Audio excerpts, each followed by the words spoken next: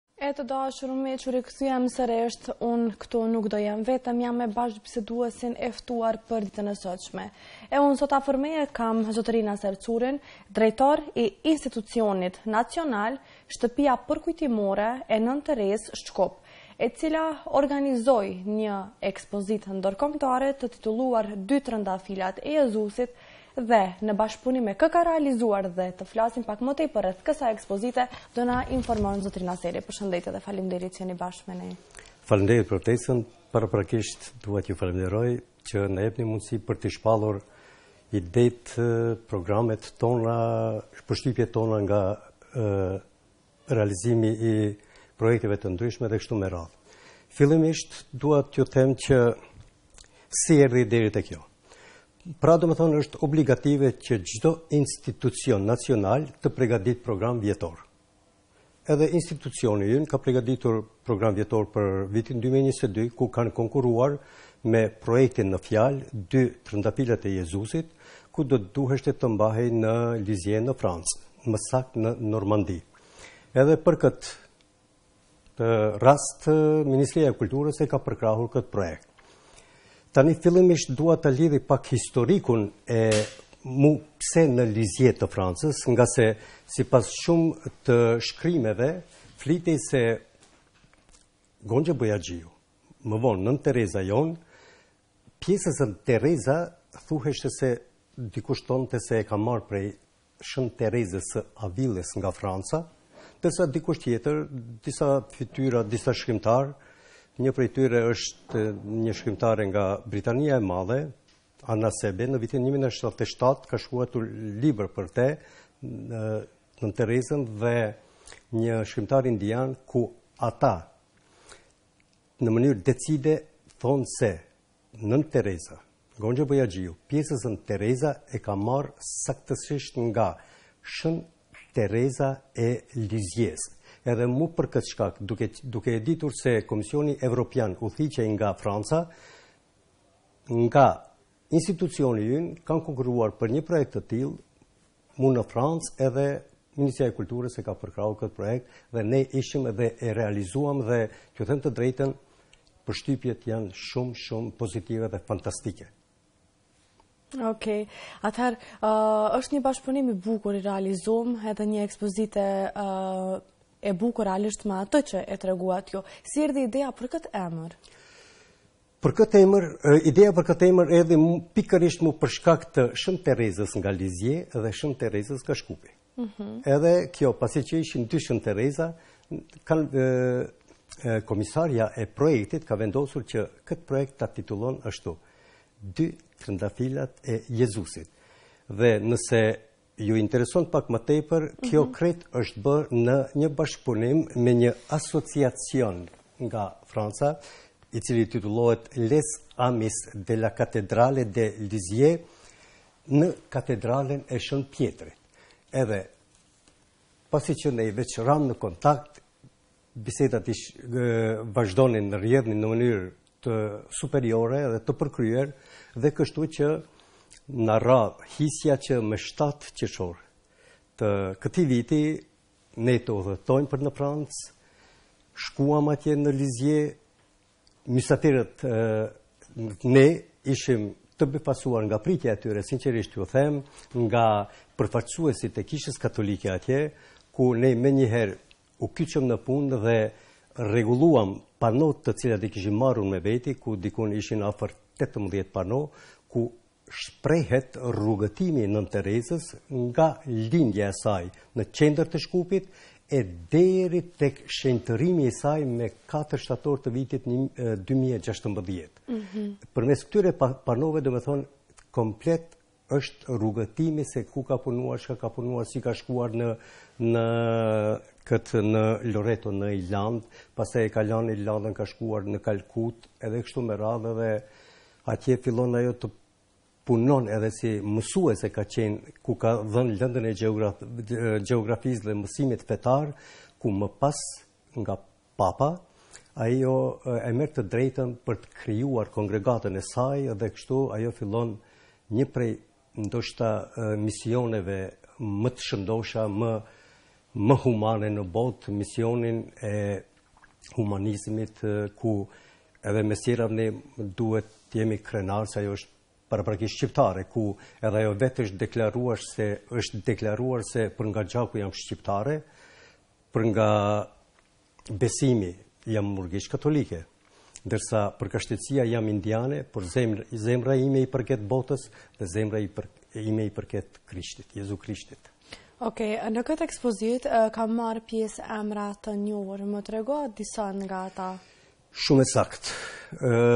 Në këtë ekspozitë Tani nëse bëjmë një lidhje pak më të ngushtë do të themi se kryetari i qytetit të Lizjes në vitin 2012, duke qenë si kryetar i Liv më falni vetëm pak, si kryetar i Livaros, ai ka qenë në shtetin tonë në Maqedoni dhe kishte nënshkruar një konventë bashkëpunimi ndërkombëtar, një konventë ndërkombëtare bashkëpunimi mes Livaros edhe Berovës qytetit tonë në Republikën tonë.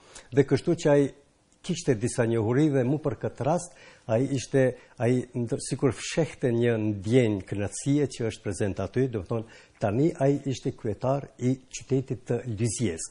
Pastaj si përruese ose promotore kryesore në këtë eveniment ishte edhe ambasadorja jonë e nderuar në Francë, Jadranka Çaushevska Dimov, e cila t'ju them të drejtën Në sytë e saj dhe në shpirtin e saj lexonim që ka mbetur jashtëzakonisht e kënaqur me me punën ne që bëmë, por me theks të veçantë dua të potencoj se në këtë eveniment ishte edhe një përfaqësues shumë i rëndësishëm që i ka të bëjë me kishën, ai ishte zotëriu i cili kishte është drejtori i komunikimit i kishës së Notre Dame në Paris, i cili para dy viteve nëse nuk gaboj e mori flaka dhe ai ishte aty prezent dhe na nderoi neve me prezencën e tij. Domethonë edhe përveç gjitha këtyre fytyrave të njohura, ë Aty ne kishim edhe një koktej modest, ku në atë koktej kishim gjëra ushqimore karakteristike, tradicionale nga regioni ynë, ku më pas ne ndamë edhe disa dhurata të cilat i kishim pregaditur nga këtu për disa fytyra, e ato dhurata kishin të bëjnë ndoshta me libër Nënë Terezës, me ndonjë dhuratë tjetër sepse ne në institucion, institut, institucionin ton përveç që i kemi tre hapësira, e kemi në përdhese edhe një shitore suvenirësh, ku prej aty i morëm disa me veti edhe ua dhurum disa njerëzve edhe u ndamë mendoj shumë shumë të kënaqur. Ndoshta do të ka nevojë t'ua them edhe një fshehtësi se ambasadorja duke mbetur pa fjalë, tha, po për fat keq unë do të kthehem mbrapa, se po po më skadon koha si ambasadore aty. Kalon fundi është i saj. Mm -hmm. Por sigurisht se do t'ju rekomandoj në Ministrinë e Kulturës dhe kandidatit potencial që do të jetë për ambasador të ardhshëm në Francë, do t'ju rekomandoj që patjetër në shtator t'ju mbërrijë edhe ta realizoni ekspozitën e radhës në ambasadën tonë në Paris. No, ok, kjo një gjë shumë e bukur shumë për juve realisht. Po më tregoni se cili ka qenë ndikimi apo mesazhi i kësaj ekspozite? Mesazhi i kësaj ekspozite është Në fillim unë mendoj se ka qenë për të për ta rikujtuar lidhjen e Nënës Terezë, Gonxhe Bojaxhiut me Shën Terezën nga nga Lizje, sepse potencova edhe në fillim pjesëzën Terezë, Nëna Terezë ose Gonxha Gonxhe Bojaxhiu mu E ka marrë këtë pjesëzën Terezë mu prej Shën Terezës nga Lizje. Edhe kjo ka qenë një një lidhje shumë e ngushtë, lidhje edhe shpirtërore, po edhe lidhje shpirtërore ka qenë e nënës Terezë me Shën Terezën, edhe pse ajo ka jetuar në kohë të ndryshme, sepse Shën Tereza e Lizjes ka qenë gati afërsisht 100 vite para Nënës Terezë ka mhm. jetuar, por kjo e impresionuar me punën e saj, edhe si duket nga kjo e ka marrë pjesëzën Tereza edhe e ka bë për vete, edhe flitet se ajo Terezë ka qenë si padrone pastaj e Gonxhe Bojaxhiut. Okej, po më tregoni se çfarë keni prezantuar në këtë ekspozitë? Çfarë ka pas për gjithë ata cilët kanë pas dëshirë që të vijnë dhe ta ndjekin?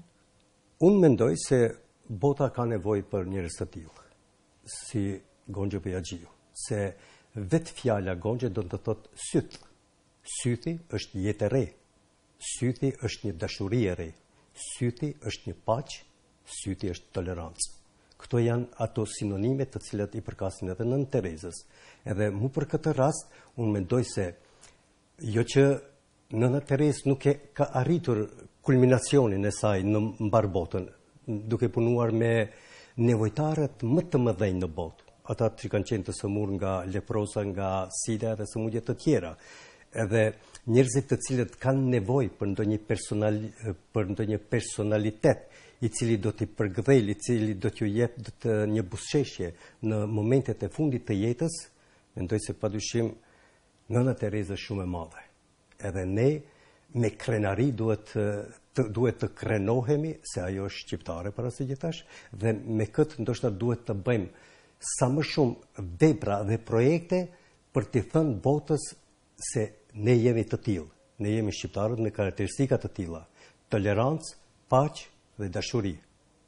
Ok, ekspozita ka filluar, sa do zgjasë? Po, edhe sa ditë është ekspozita? Një pyetje shumë me vend, ekspozita u hap me 7 qershor të vitit 2022 dhe thashë ajo i ka 18 pano, po ekspozita do të jetë e hapur deri me 17 qershor të vitit 2022, kështu që mendoj se Sido që të jetë, kjo ka bërë një jehonë goxha të madhe dhe unë mendoj se këtu shtëpia jonë përkujtimore, institucioni nacional, në Nëna Terezë të Shkup, nuk do të ndalemi, por përkundrazi, kjo do të na jep një vullnet të hekurt edhe një vullnet shumë të mirë, edhe një shtytje që ne të vazhdojmë me, promo, me promovimin e veprës humanizmit të shenjtores dhe nobelistes shqiptare Gonxhe Bojaxhiu nga Shkupi. Më tregoni, këtë ekspozitë kush ka të drejtë ta vizitojë? Mundet çdo qytetar i lirë të shkon dhe ta ndjek? Këtë ekspozitë ka të drejtë ta viziton kush të don. Është hyrja e lirë, vetëm duhet të ketë njeriu një vullnet, duhet të ketë ndoshta pak të lexuar lidhur me Gonxhe Bojaxhiun, shqiptaren dhe Sa për kureshtje të shkon edhe ta viziton se në tek e fundit në panot është fillon me lindjen e saj në Shkup, fillon me prindërit e saj Nikollën dhe ose Kolë Bojaxhiun me Dranen, nënën e saj, familjen motrën edhe vëllaun e saj Agen edhe Lazarin dhe pastaj thash mbaron deri në fund ku kemi pano para shpalljes së shenjtë në katër shtator të vitit dy mijë e gjashtëmbëdhjetë e kemi në atë panon e vitit dy mijë e tre ku fillon beatifikimi dhe kanonizimi i saj. Dhe është për t'u përshëndetur dhe është një fakt shumë interesant se për një periudhë kaq të shkurt kohore, deri më sot askujt nuk i ka ndodhur që të shpallet e shenjtë. Nëna jonë shqiptare Gonxhe Bojaxhiu, vetëm ajo e ka arrit atë. Për një periudhë të shkurt të shpallet një herë e lumturume e pastaj në 4 shtator të bëhet e shenjtë.